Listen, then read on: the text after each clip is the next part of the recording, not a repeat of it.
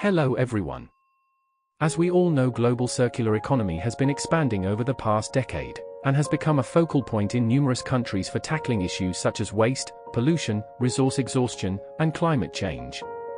The circular economy demands a shift in consumption habits, the introduction of new business models, and circular production and resource allocation systems. Given the complexity of the circular economy, measuring and assessing its progress across nations is a challenging task. The circular economy varies fundamentally from the linear model of economic activity that we commonly encounter. It is a system based on recycling, reuse, repair, remanufacturing, and product sharing. Consequently, typical indicators of national economic performance in a linear system, such as GDP, productivity, and inflation rates, are not adequate for measuring circular activity. It is estimated that currently only 8.6% of the global economy is circular. Identifying the nations leading in circularity isn't straightforward due to the complex nature of the circular economy. Existing indicators do contribute to measuring performance in various areas that directly or indirectly affect the development of the circular economy. These areas include sustainable resource management, societal behavior, and business operations. Helen Burdett, head of the circular economy at the World Economic Forum, explains that there isn't a single universal metric to rank nations regarding the circular economy. Not-for-profit organization Circle Economy has developed a global circular economy metric, and groups such as the Platform for Accelerating the Circular Economy, and the United Nations Industrial Development Organization are investigating metrics as well. The African Circular Economy Alliance has emerged, indicating that countries are beginning to work together on regional levels. The ACEA, which primarily focuses on the public sector, works closely with the more private sector-focused Africa Circular Economy Network. In Latin America, the United Nations Environment Programme, UNIDO, and national governments have formed the Latin America and Caribbean Circular Economy Coalition. In the United States, the Save Our Seas 2.0 Act has introduced a definition of circular for the first time.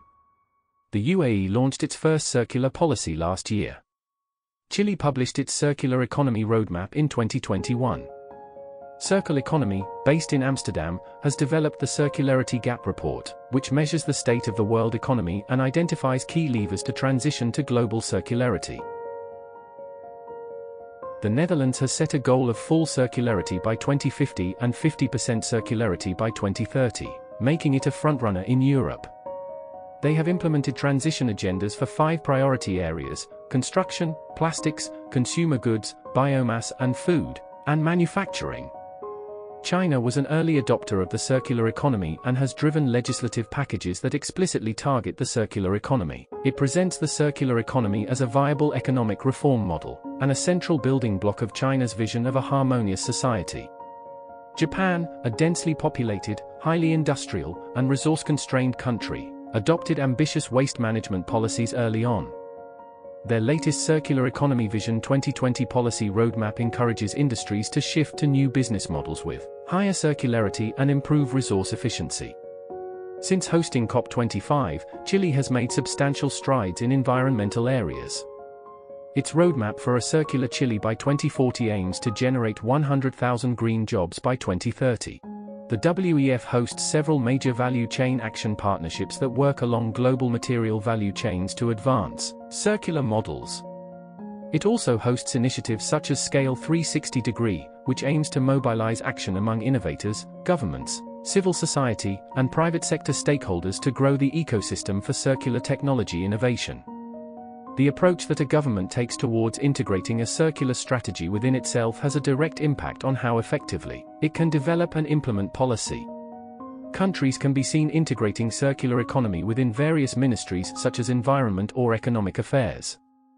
An example of an integrated approach is in the UAE, where the WEF Scale 360 Degree Circular Innovation Initiative's National Advisory Board became the UAE Circular Economy Council, with four ministries and private sector leaders involved. Another example is in Chile, where the Scale 360 Degree Initiative hosted co-creation sessions with leaders from large industrial corporations to identify opportunities for industrial symbiosis.